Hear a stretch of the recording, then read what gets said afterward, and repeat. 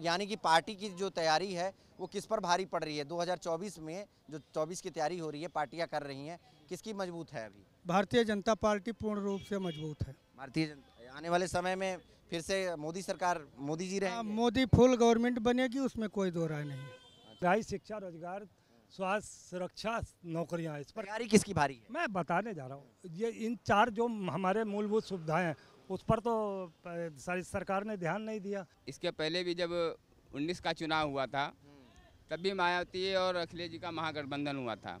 उसमें भी वो फेल साबित हुए और एनडीए ही आगे बढ़ कर के आया। फिर से जो है नरेंद्र मोदी प्रधानमंत्री बनेंगे।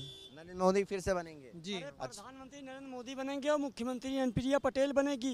ये क्यों नहीं आप लोग कह रहे हैं भाई?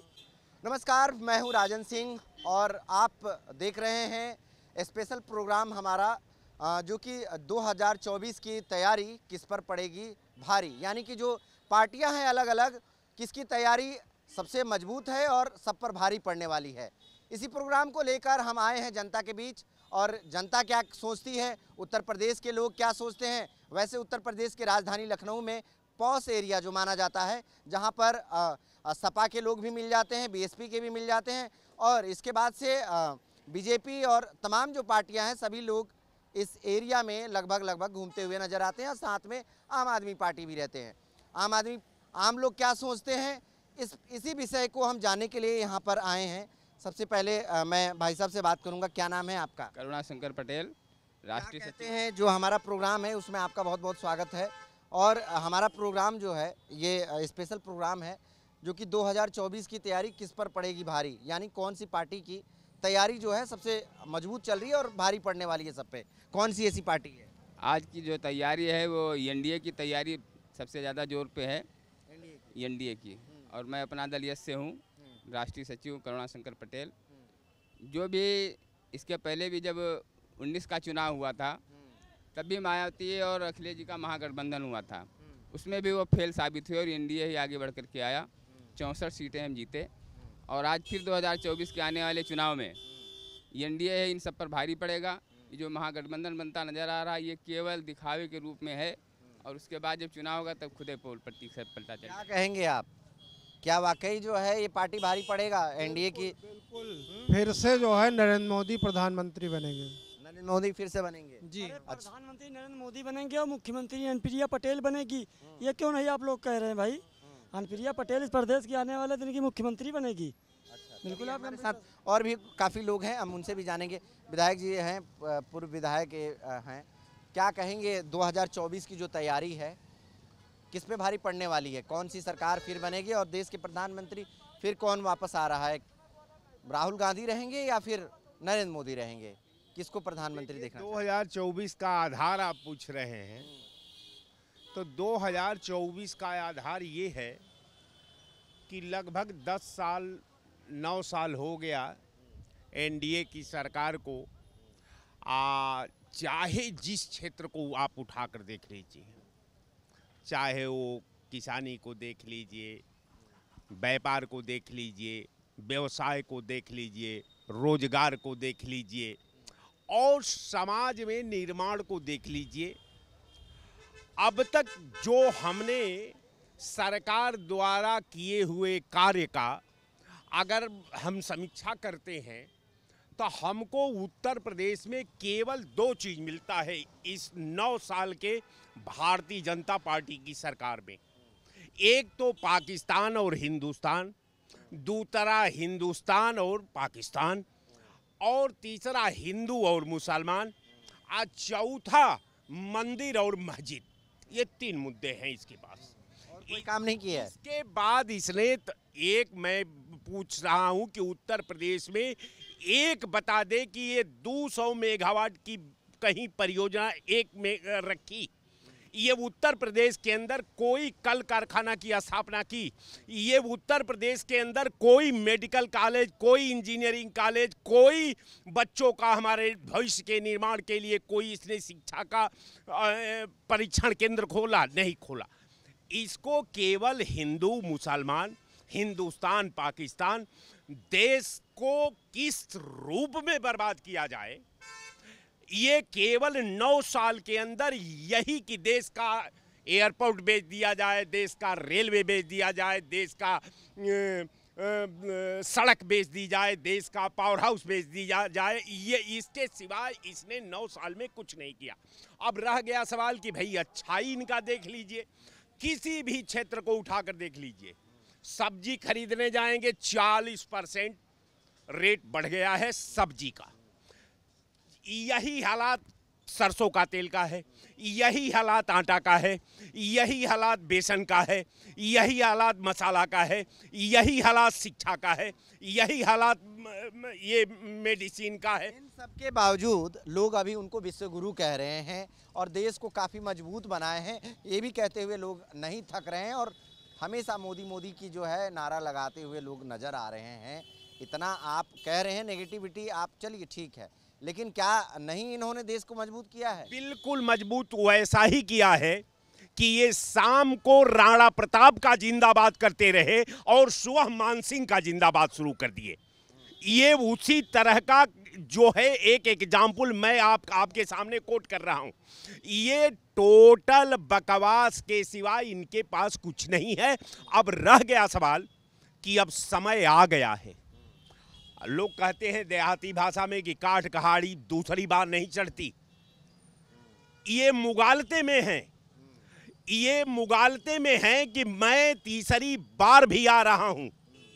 लेकिन याद करिए कि जिस तरह साइनिंग इंडिया ने अटल बिहारी वाजपेयी की सरकार का खात्मा हो गई, वही हालात इनकर स्टार्टअप इंडिया और एनडीए सरकार का खत्म हो खात्मा होना है। क्या लगता है इनकी जो तैयारी है भारी नहीं पड़ेगी और और विपक्षियों पर और किसकी तैयारी आपको आपके ख्याल से देख- किसकी तैयारी मज़बूत है? देखिए देखिए देखिए देखिए सबसे बड़ी बात है कि आप ये एक तरफ़ कहते हैं कि सारा विपक्ष पर हम अकेले भारी हैं। भाई आप ठीक है? यहाँ तक तो बात आपकी मैं मान लेता हूँ। कि भाई आप सरकार हैं, आप सक्षम हैं, आपके पास हिंदू मुसलमान का कवच है, आपका हिंदुस्तान पाकिस्तान का कवच है, आपके पास ही यहाँ मस्जिद की कवच है। लेकिन एक बात उन्होंने नहीं बताया कि आज भी विपक्ष से, ज़्यादा दल आज एनडीए के अलायंस में हैं। अगर आप सक्षम हैं तो ये जो आपके पास कमाऊ प्राइवेट लिमिटेड कंपनी चल रही है।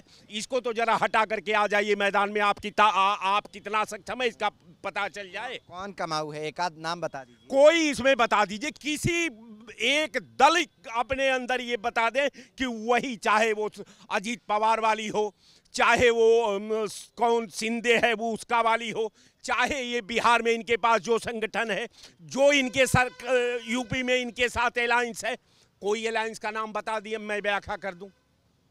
रह गया सवाल की व्याख्या व्यक्तिगत नहीं होनी चाहिए। मैं सरकार पर बात कर रहा हूँ तो ये मुगालते में है भारतीय जनता पार्टी। ये मुगालते में उसी तरह है जिस तरह अखिलेश जी मुगालते में थे अब भाजपा आ गई उनके छाती पर। उसी तरह जिस तरह अखिलेश गए हैं अब वो दिन दूर नहीं साहब। गया माघ मतलब अखिलेश जिस तरह से गए हैं यूपी से आप आपका कहना है कि केंद्र से ये भी चले जाएँगे? हम नहीं कह रहे हैं। ये देश कह रहा है। ये देश का नौजवान कह रहा है। इस देश का उद्योग कह रहा है। इस- नौजवान हैं उनसे भी पूछेंगे। चलिए आप क्या कहते हैं? कि कौन किसकी तैयारी किस पर भारी है? क्या कहेंगे? किसकी तैयारी अभी भारी चल रही है? देखिए राय साहब ने जितनी बात कही मैं उससे सहमत हूँ। 2024 की तो बात ही छोड़िए। महँगाई शिक्षा रोज़गार स्वास्थ्य सुरक्षा नौकरियाँ इस पर तैयारी किसकी भारी है? मैं बताने जा रहा हूँ। ये इन चार जो हमारे मूलभूत सुविधाएँ हैं उस पर तो सारी सरकार ने ध्यान नहीं दिया। मगर मैं आज एक बहुत शर्मनाक बयान बताने जा रहा हूँ प्रधानमंत्री का देश के ऊपर। उन्होंने कहा है इंडिया लिखने से ले या लगाने से कुछ फ़र्क नहीं पड़ता। ये ऐसी दिशाहीन विपक्षी पार्टी है। ठीक है? और उन्होंने इसको तुलना की है जो इंडिया इनका गठबंधन है, उसकी तुलना की है ईस्ट इंडिया कंपनी से, उसकी तुलना की है इंडियन मुजाहिदीन से, उसकी तुलना की है पीएफआई से। जो खुद भारत का मोदी भारत का प्रधानमंत्री मोदी जो खुद दिशाहीन है, वो इंडिया नाम से ही इतना ज़्यादा चिढ़ चुका है कि उसने उसको पी आई से जोड़ा, ईस्ट इंडिया से जोड़ा, इंडियन मुजाहिदीन से जोड़ा। और देखिए, ये इसकी योजनाओं में है, मेक इन इंडिया, है ना? है, बढ़ेगा इंडिया, खेलेगा इंडिया। इसने आज जिस तरीके से 142 करोड़ इंडियन का अपमान किया है, उनको शर्मसार किया है देश की जनता को, ऐसे प्रधानमंत्री को तो अपने पद से इस्तीफा दे जाना चाहिए इतना बेशरम प्रधानमंत्री हमने अपने जीवन काल में नहीं देखा, जो इंडियन आज जो इंडिया हिंदुस्तान ने वो विपक्ष ने नाम रखा है उसके नाम से उसने जिस तरीके से इंडियन को बदनाम किया है इंडियन इंडियन जनता को जिस तरीके से अपमानित किया है उससे शर्मसार बात शायद देश के इतिहास में किसी भी प्रधानमंत्री ने नहीं की होगी। और कोई सवाल? चलिए ठीक है। और भी हमारे साथ जनता है इन लोग से भी पूछ लेते हैं। भाई साहब अच्छा एक मिनट बताइए 2024 की तैयारी 2024 की तैयारी किस किसकी भारी है? अभी किस किसकी तैयारी अच्छी तो है? जब इलेक्शन होंगे तभी बता पाएँगे। इलेक्शन के इलेक्शन के पहले नहीं बताएँगे। चलिए और और क्या कहेंगे दादा ये बताइए आने वाले समय में कौन है प्रधानमंत्री मोदी रहेंगे या फिर राहुल गांधी? मोदी नहीं रहेंगे। मोदी नहीं रहेंगे? चलिए ठीक है। क्या कहोगे भाई साहब मोदी है या फिर राहुल गांधी है आने वाले 2024 में? राहुल गांधी। राहुल गांधी। चलिए और भी भाई और भी हमारे साथ हैं। हाँ भैया से पूछ लेते हैं। आप ये बताइए 2024 की तैयारी किस पर पड़ रही है सबकी भारी? यानी कि पार्टी की जो तैयारी है वो किस पर भारी पड़ रही है? 2024 में जो 24 की तैयारी हो रही है पार्टियाँ कर रही हैं किसकी मज़बूत है अभी? भारतीय जनता पार्टी पूर्ण रूप से मज़बूत है। भारतीय जनता आने वाले समय में फिर से मोदी सरकार मोदी जी रहे मोदी फुल गवर्नमेंट बनेगी उसमें कोई दो राय नहीं अच्छा। क्या कहेंगे आप क्या कहेंगे? हाँ भाई भाजपा के फुल बहुमत आएगी भाजपा की फुल बहुमत जी जी आई आई चलिए तो और भी बहुत सारे लोग हैं। हाँ हाँ विधायक जी बहुत परेशान किया सरा बस्ती दो सौ नब्बे के हाँ। चलिए ठीक है उस पर हम बाद में बात करते हैं। एक प्रोग्राम है हमारा उस पर हम बात कर रहे हैं। क्या कहेंगे आप बताइए 2024 की तैयारी किस पर पड़ रही है भारी? 2024 में एनडीए पूर्ण गठबंधन के साथ आ रहा है चार सौ पार आ रहा है। हाँ निश्चित भाई साहब कह रहे हैं कि इंडिया जो बना है उसकी काफ़ी लोग जो हैं सहमत हैं और उसको उसी की सरकार बनने जा रही है क्योंकि ये कुछ किए नहीं हैं।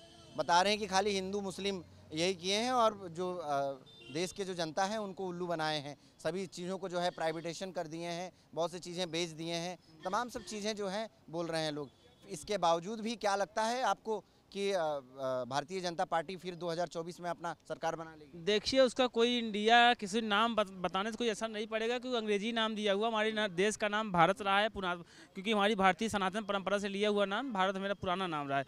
अब कोई कहिए कि किसी लीडर को शेर की खाल पहना दी जाए तो नाम से कोई फ़र्क बहुत पड़ने वाला नहीं। जनता जान रही कि विपक्ष कितने दिन से किया वो सब बहुत भ्रष्टाचारी रहा 2024 में फिर से मोदी आ रहे हैं? हंड्रेड परसेंट मोदी आएँगे कोई रोक नहीं हमारे साथ एक दीदी हैं इनसे बात करते हैं। क्या कहेंगे दीदी? 2024 की जो तैयारी है जो। पार्टियाँ जो अलग अलग हैं वो कर रही हैं। किसकी किसकी तैयारी अभी मज़बूत चल रही है?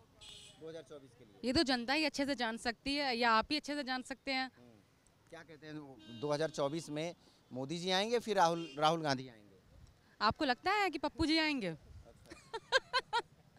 मोदी जी के मोदी जी को छोड़ के बाकी सब चोर हैं मोदी जी ने दिखा दिया सबको। और मोदी जी 24 में आ रहे हैं बहुमत के साथ आ रहे हैं या आप भी देखेंगे और पूरी जनता भी देखेगी? ऐसे ही विश्वगुरु नहीं बन रहा है भारत।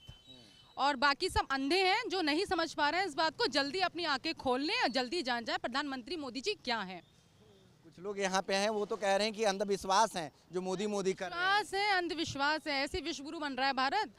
बाकी सब अंधे हैं क्या? भ्रष्टाचार समाप्त कर दिया तीन सौ बहत्तर समाप्त कर दिया राम मंदिर कई लोग यहाँ पे बोले कि कई कई दिखाते हैं। बेच दिए इन्होंने। हाँ तभी तो। पाकिस्तान की तरह आप क्यों नहीं भूखे मर रहे हैं? भारत भारत क्यों सबसे अच्छे कंडीशन में है इस समय? पाकिस्तान की तरह तुम लोग भी भूखे मरो। अभी अभी वो कंडीशन होती तब पता चलता। तो कहीं ना कहीं इसका क्रेडिट जा रहा है मोदी जी को। बिल्कुल क्रेडिट जा रहा है और बाकी सब अंधे हैं तो बने अंधे बैठे रहे। चलिए हम आप भी थोड़ा सा बोल दीजिए। अच्छा नगर निगम। भाई साहब क्या कहेंगे? 2024 में कौन आ रहा है? राहुल जी आ रहे हैं या मोदी जी आ रहे हैं? एक सीधे सीधे सीधे सवाल। 2024 में चुनाव में मोदी जी आएँगे। मोदी जी आएँगे जी आएँगे। चलिए ठीक है। आप क्या कहते हैं भैया 2024 में मोदी जी आ रहे हैं या फिर राहुल गांधी आ रहे हैं? मोदी। मोदी? हम्म, क्यों आ रहे हैं? क्या अच्छा लगा है? बहुत कुछ अच्छा है। बहुत कुछ अच्छा है। सुधार। राहुल गांधी भी तो कुछ नया नया करने के लिए आ रहे हैं। नया वो करेंगे एक बार फिर। जो करके गए हैं पहले नया वही नया फिर करेंगे। हाँ। तो देखते हैं फिर। और हमारे साथ काफ़ी लोग हैं। जो, जिनसे हमारी बातचीत हुई। देखिए, यहाँ पर ज़्यादातर लोग जो हैं, अभी तो मोदी के लिए ही समर्थन कर रहे हैं। एक आध लोग जो हैं, जो कि बोले हैं कि इनके काम अच्छा नहीं लगा है, उसको उसको लेके वो नाराज़ हैं और इसी नाराज़गी को देखते हुए 2024 में कह रहे हैं कि कांग्रेस आएगी और वहीं कुछ लोग ये भी कहते हुए नज़र आए कि मोदी की सरकार फिर से आएँगी, मोदी फिर से प्रधानमंत्री बनेंगे क्योंकि उनकी जो कार्यशैली रही, कार्य जो भारत के लिए उन्होंने किया, वो काफ़ी सराहनीय माना जा रहा है। लखनऊ से कैमरा पर्सन अनिल के साथ राजन सिंह, जगह twenty four into seven news